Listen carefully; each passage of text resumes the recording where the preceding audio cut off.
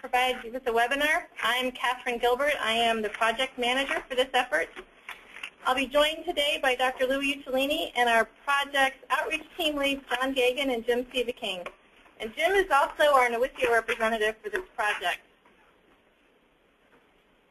We are recording the webinar, so we have muted the phone, uh, but we will provide you with contact information if you have questions or comments later, and we will also put the recording online, and Jim and John will let you know how to find that. Louis is going to start us off with some opening remarks, but he won't be able to stay through for the whole webinar, and then Jim and John will take it over from there. So thank you, Dr. Uccellini, for joining us. Okay, thank you. Um, delighted to be here. And um, first let me thank um, uh, Jim and John for, you know, not only leading this uh, webinar, but, you know, playing such an important role in the overall project. Um, I'd also like to acknowledge and thank Steve Lord uh, for um, his activities uh, with respect to the Sandy Supplemental and um, getting that project stream online with respect to the Hill so we could actually move forward in this arena. So uh, let me make, and, and, they have access to all the slides, right? And, and they'll be able to see them. So if we could just advance to the first slide. Who's doing that? Okay, great. All right, so um, I only have four or five slides here that I'd like to go through. Uh, what I'd like to emphasize here uh, is that uh, when we see the regional um, representation on the uh, left-hand side of this uh, this particular slide, uh, this effort started in the field. All right, so my first encounter with the with the blender was with Central Region and specifically the Sullivan Forecast Office. I don't know if they are the first ones, but they were certainly the first ones to uh, promote uh, the blender um, as, uh, as a tool that would help the forecasters uh, in the WFOs. Um, the, uh, there was a number of issues that uh, were being addressed here, and what I heard directly from the folks out, out in the field as the blender gained popularity. First of all, there's this consistency aspect. try to you know blend across the boundaries of the WFOs themselves so that we wouldn't be building in these political boundaries into our final uh, NDFD uh, uh, grid sets. Uh, and this was, as it turns out, was an important complaint that was being levied against the, the Weather Service writ large. Um, I think everybody knows about that. It became particularly noticeable uh, through the NAPA report, which we have in the middle, uh, of this diagram, uh, which recognized uh, our needs to um, to deal with consistency issues across the board, and they, and they pointed to the NDFD as, as one of the areas, not the only one. Uh, we um, uh, then built this into the roadmap and uh, with the idea that we would um, provide a national basis for the blender, not just individual efforts across the Weather Service, and, and there are several reasons for that. I believe from a scientific point of view, uh, I believe this very strongly, and I've said this in the past, uh, you know, you, you, you really need to start large and then work into your local areas. Uh, this is what synoptic to mesoscale meteorology has uh, always been about. And rather than trying to build up this national map from cobbling together 122 different uh, WFO analysis, so it did provide a, a stronger basis for us moving forward in that regard. and this was um, of, this was definitely captured uh, by the um, what was the name of that contract group that was uh, doing the survey? Uh, Riverside. Riverside. Uh, we went around and we're looking for uh, not only from a Sandy supplemental perspective, but also from a gap mitigation perspective. They uh, were providing input to NOAA on things we could do to sustain and improve our forecast product stream um, in the light of um, you know a projected gap in our satellite coverage and the potential impact that might have on models. And out of all their recommendations, one of them popped up as the you know uh, provide a national blender uh, project, and uh, this was around this was soundly endorsed uh, by the Hill and it was one of the reasons why the Sandy supplemental money was directed towards this project. Now that's a double-edged sword, okay? Because it turns out that when we uh, we signed up for the Sandy supplemental money, uh, we also signed up for a project plan that reports back to the Hill. So the point I'm trying to make here is that yes, this project started in the field. It, it got national attention. Um, it became embraced by the Hill for funding and as a national effort, uh, which is now being tracked by the Hill. So it's very important uh, that we continue to make progress on this pro uh, on this uh, project, and to um, um, uh, you know not uh, we're not going to rush it. There's there's a saying that I remember Doug Sargent, you know, many times. You know, you can't make wine before it's time. Um, so we're going through a stepwise procedure here in terms of collaboration, development, uh, and assessment uh, before uh, we would uh, roll this out. So, it, but just to let everybody know, uh, yes, we got funding for this. Uh, there's, a, there's a national plan, and that's being tracked by the Hill. So, um, getting into the um, the science and technology aspect of it and what was written up in our roadmap, uh, there were a couple of drivers for uh, attempting to, um, what I would say, provide this national basis rather than the individual efforts that we had that was going on. First of all, we wanted to have this consistency aspect uh, across the Weather Service, uh, both uh, within, you know, within the regional uh, and, and WFO field structure, but also between that part of the field structure and the national center's field structure because part of the consistency issue that was being brought forward uh, uh, involved what was coming from national centers and what was coming from regional offices like RFCs and what was coming from WFOs.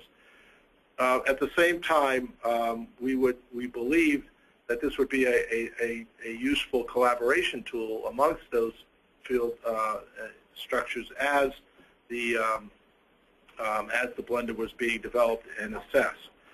Um, the other goal here uh, is to take full utilization um, of the model output that we're actually providing. So uh, truth in advertising, when I had the Blender project briefed to me by the Sullivan uh, office, and it was, uh, you know, uh, I mean, they clearly, uh, I was impressive of what they were bringing to the table. But one of the things that I noted was that they weren't making use of our ensemble model output. So what we have is a situation where we're increasingly relying on the ensemble model output that we do have access to, but that was not finding its way into this digital product stream for probably the main reason is we didn't have the dissemination system to get the model output out to where you know the the, the um, uh, blenders were being developed and tested. Um, so let's take full advantage of the ensembles that we've uh, developed and implemented across this this time frame that involves the SREF, involves the, uh, the, the, GEFS, the NAEFS, and access to ensembles from other centers uh, like the European Center and uh, the UK Met. So this was another driver for bringing this in and, and um, uh, making sure that the blender itself, the blended products, made full utilization of the information that is uh, that is there in the um, um, in the ensembles, and that it's reflected in our digital forecast uh, the same way that it's now being used uh, uh to make other forecast products. And it's um, so that's uh, one of the main challenges that I think we face uh, in moving forward. I should note that the European Center still has not decided whether they will allow us to use the uh, uh, their model output for this uh, product stream. the I'm, not, I'm trying to measure the optimism. Uh, they were very optimistic six months ago. It did not get brought up in this uh, particular uh, executive meeting that they just had. They're having another one, I believe, December. Yeah, and we'll see what happens there. But uh, from what I hear is that there are some countries that do not want um, to see this included, that uh, they feel that our product stream then would compete with uh, what their models are being used for in a more local sense. So um, we'll have to stay tuned for that, see what happens. Uh, the fact is, is that we have a lot of ensembles still to take advantage of, uh, not the least of which is the NAEFS, uh, which involves Canada and us. Uh, so we at least have a multi-model ensemble in the medium range. And I believe, is the UK Met part of this, Steve? You just came back from the UK Met. Not first go around. Okay. So, they're upgrading their systems, so eventually it may, it may go. okay, okay.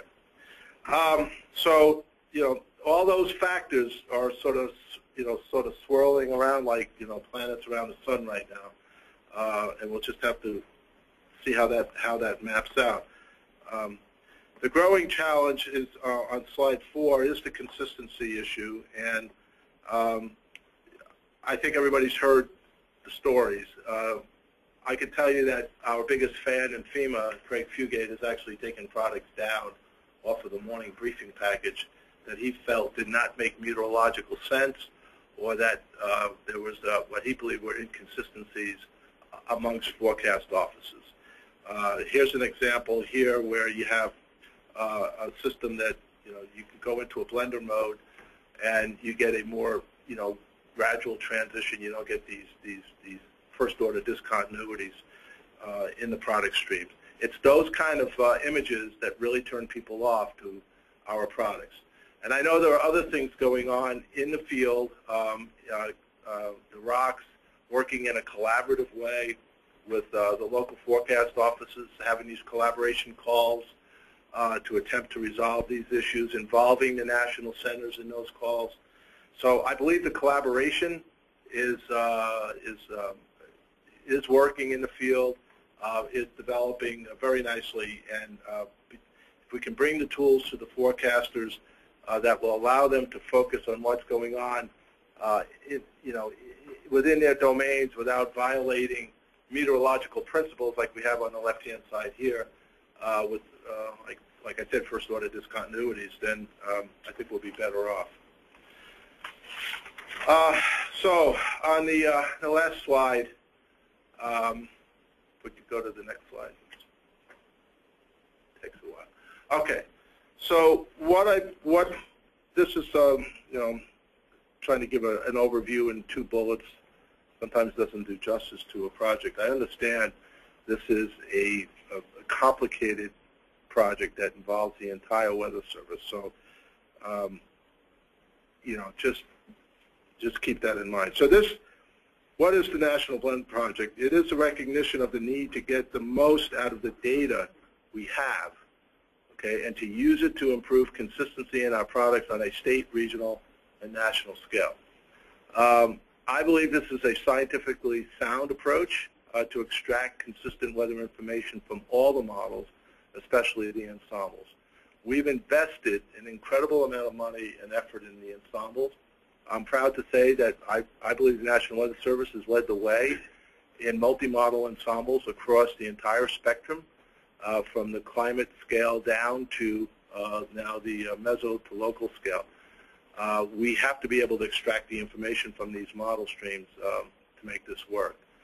What this is not, all right, and uh, I want to emphasize this, this is not a way to reduce NWS staff. Uh, this is a way, uh, this is not a way to remove the human completely from grid editing.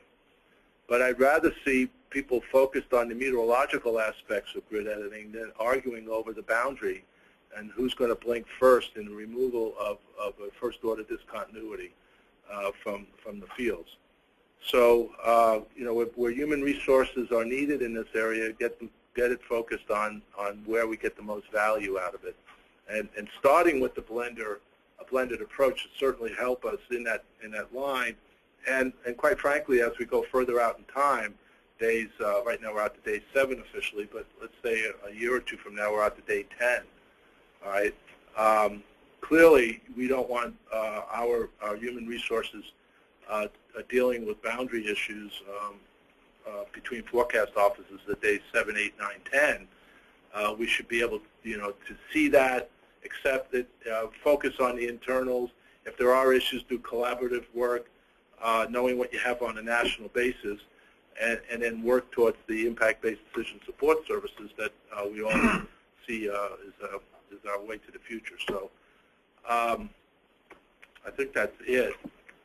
And, oh, I got a summary slide.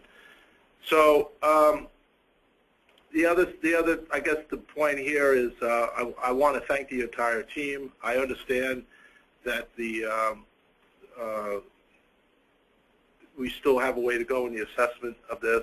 Uh, we are doing a very careful assessment. I've also seen the uh, the collaboration and the and the cooperation amongst many components of the Weather Service. It's really been great to watch, and um, I'm wishing you all the best in, in moving this uh, entire enterprise forward. Thanks. Thank you, Louis. Jim and John, are you ready for us? Uh, I am ready. All right, so we'll turn it over to our outreach team now. Okay, thank you, Dr. Uccellini, for uh, giving us the background of how this project came about and is funded. Uh, my name is Jim Sieveking. I represent the National Weather Service Employees Organization. I'm a senior forecaster here at the WFO in St. Louis, Missouri, and serve as the Central Region Chair for NWSEO. Uh, I'd like to start by kind of giving you a brief overview of all the entities that are represented in this project. Um, they include the National Weather Service, of course, the Office of Science and Technology, the National Centers for Environmental Prediction, Office of Atmospheric Research, the Meteorological Development Laboratory, Strategic Planning and Policy Office, Office of Climate, Water, and Weather Services. Uh, the project advisor is Stephen Lord, who's a senior scientist for the Advanced Weather and Climate Modeling for OST's Modeling and Observing Integration Branch. And the project manager is Kathy Gilbert, who just was speaking, and she's the branch chief of MDL's Statistical Modeling Branch. The National Blend um, has become a massive undertaking, as Louis uh, alluded to. Uh, it involves more than 70 contributors now, and it continues to grow. Uh, several sub-teams perform the underlying heavy lifting or work of the project. They are the post-processing team by uh, led by Tom Hamill, the analysis and verification team led by David Ruth, the testing and training team led by Dave Novak and Jeff Craven, the dissemination team led by Jack Settelmaier and Kathy Gilbert. Uh, shortly after I became the representative on this project for NWSEO, I became worried about how little information was being sent out to the field. So after speaking to Kathy and a few others on the project about my concern, I uh, volunteered to co-lead an outreach team for the project. Um, this was under one condition though, and that was that uh, my co-lead would be John Gagan. Uh, for those of the, you that do not know John, John's a senior forecaster and branch steward at WFO Springfield. More importantly to this project, he is the team leader in Central Region for all things grid related and is one of the founding fathers uh, of this model blending initiative. Uh, his experience and expertise in these matters are invaluable, and I'm thankful that John agreed to help me in this effort. Uh, John and I have formed a team of people that stretch across the regions that include forecasters just like you. We actually have one person from each region on this team. Uh, together we hope to communicate with you, the forecasters in the field, on the progress of this project, how you can get involved and help shape the project, and of course answer any questions that you may have. So what's the goal of the project? Well, it's to take be the best of all those regional efforts that are going on um, and develop a nationally consistent set of grids that will be used as guidance for you, the forecasters in the field. The exciting part of this project, especially if your office is already uh, producing a model blend, is number one, we'll finally be leveraging national computing power to produce the blend uh, rather than taxing our local systems. Number two, we'll be utilizing new model outputs such as ensembles, as Louis uh, alluded to. They're not just available at the regional and local levels. Um, and finally, three, instead of only using the best average of models to produce a blend, this project uses advanced techniques developed by modeling experts uh, to provide the very best blended guidance to the field. The project will be done in phases um, and as funding allows. The first phase We'll focus on providing deterministic grids as guidance for the extended forecast or days 3 through 8. The later phases will extend to a full set of deterministic and probabilistic products uh, covering days 1 through 10. Um, we, just as the project is, will be focusing on phase 1 for this presentation.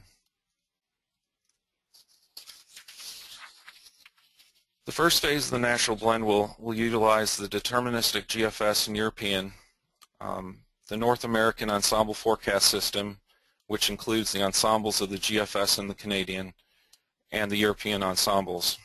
In the future, the North American Ensemble Forecast System will be separated into its two distinct components. And that's the Global Ensemble Forecast System and the Canadian Meteorological Center's ensembles.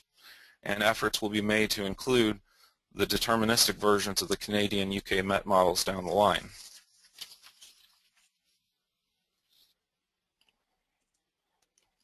The gridded elements that are going to be produced in the first phase of this project will be three hourly temperature, max and min temperature, and three hourly grids for dew points, sky, and wind, and then finally the 12 hourly pop. Uh, these graphics on the right are before and after forecasts from the national blend. Um, in regard to the Arctic cold front that just surged across the country.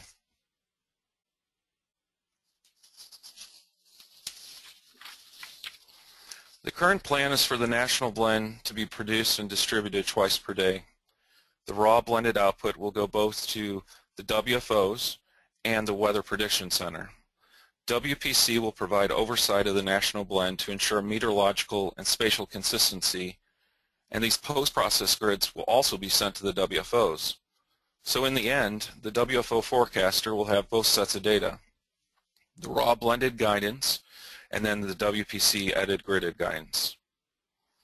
So now I'll hand off the presentation to John Gagan, who will give an overview of the analysis, verification, evaluation, and training for this project. John? Hi, Jim. Can you hear me? I can. Okay, great. Uh, thank you, Jim. Uh, if you could go ahead to the next slide, that would be great. Um, as Jim mentioned, I'm going to kind of go through a few of uh, the latest and greatest information we have from uh, some of our working groups that were listed before. Uh, the first being the uh, information we have some from the analysis and verification folks. And we do have a website here that's listed. Uh, if you don't have a chance to jot it down now, at the end of the presentation, we'll show you a, a Google Sites that you can go to uh, to obtain this link, as well as some additional information as well. Uh, so this site is actually one of the more useful tools that's come out of the project thus far. Uh, it's been created by uh, MDL, and any of us can go and can compare uh, individual components of the blend. you can view the latest prototype national blend and compare RTMA analysis. this page continues to evolve, and it really does seem to have new features added every week. And in fact, uh, creating this presentation, there's even things we're adding to this presentation this morning. So as we continue to go along with this project, uh, you know, the information flow is going to be important. And uh, as I mentioned before, we're going to have a Google Sites that people can go to on a daily basis, and we're going to try and have the latest and greatest up there as soon as we can.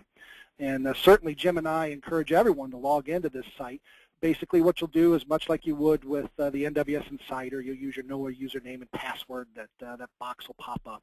So use the uh, first name dot last name, and then your password, and you can get right into this. Um, and you can see uh, what we have for you there.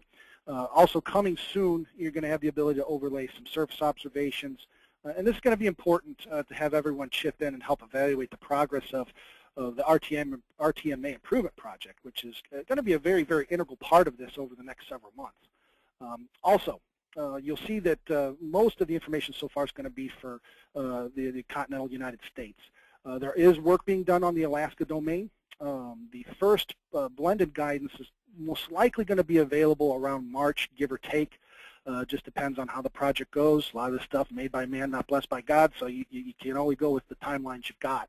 So sometimes things get pushed back a little bit. So basically March, give or take, for adding some of the Alaska information. So if you could go to the next slide there, Jim. And we're going to, you know, want to spend a little bit of time on this.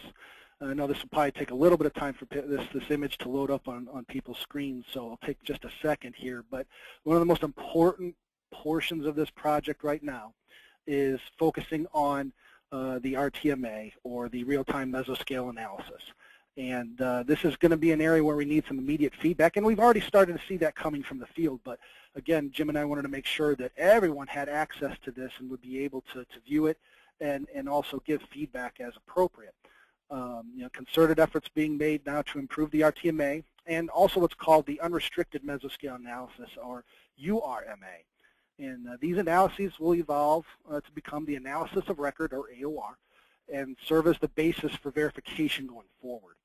And uh, while there has been increased interaction between the field and the RTMA, URMA developers, um, it's definitely imperative uh, that we the field remains engaged in this and that we get that feedback to those developers to make sure that this is the best quality possible.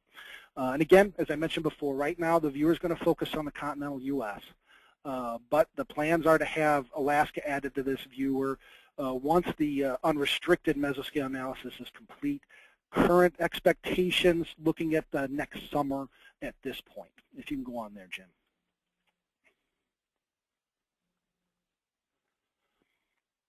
All right, so it cannot be emphasized enough just how important the field feedback is. And this slide here will tell you how to get to that feedback. So again, there's the uh, website, um, and uh, that uh, again will be listed at the end, also be listed um, uh, on our Google sites.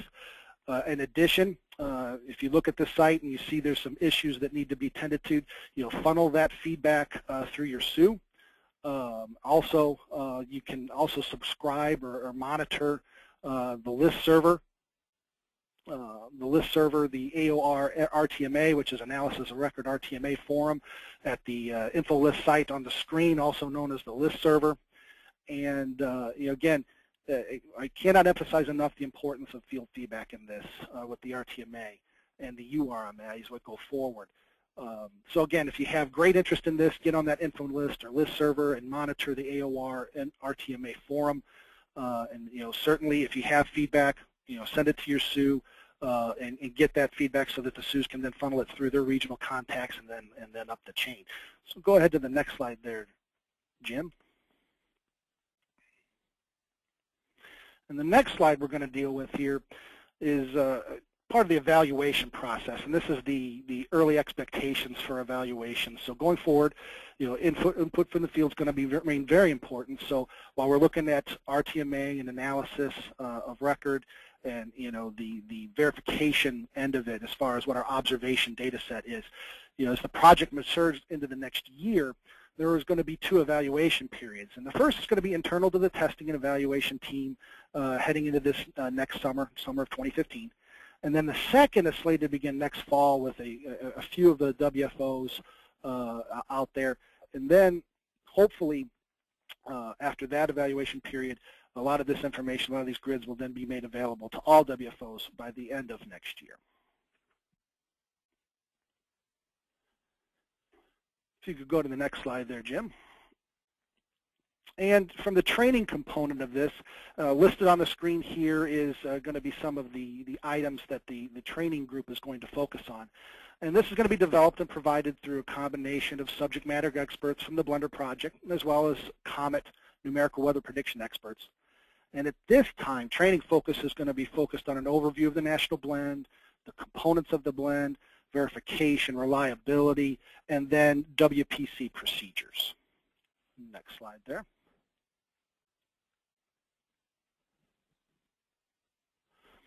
So at the beginning of this presentation, Dr. Uccellini provided some great background on how this project was born uh, from the Sandy Supplemental, among other other historical uh, portions of this, and again going back to the Sullivan office where this is kind of born. Uh, the scope of the project was finalized last December, and MDL provided us uh, the website to view the initial National Blend product and so much more just a few short months ago. Um, there is an expectation to have the training and implementation plan finalized by March and to have the National Blend at your fingertips in GFE, again, by the end of December uh, 2015. So Jim, I will hand it back to you uh, to wrap it up. All right, thanks, John. Um, so if you want to have uh, uh, contact with us with comments and questions, uh, we have two different ways that you can do it. Um, The first one would be to just use the email address there, national.blend.feedback at noaa.gov. And uh, this will be kind of a just like a private way to ask a question. There's also more of a public way to ask a question if you think your question um, is a question that many people might have. Uh, jump on our Google site, um, which is listed there, and it's basically just National Blend. Um, it's a NOAA.gov uh, Google site. Just jump on there, and uh, there's there's a portion in there where you can actually uh, it's a forum type setting where you can ask a question and then we'll come in and answer it and so then people can can see it um, as you go along. Um, I would like to thank you for your attention today. Um, and again, we're not going to take questions here. Uh, a lot of the questions you might ask, um, we're not subject matter experts in it. Uh, we're just giving you an overview of the project. So we want to get your questions, but we want to go and get the correct answers uh, for them. Um, and I was going to try to show you the Google site. John, can you see the Google site?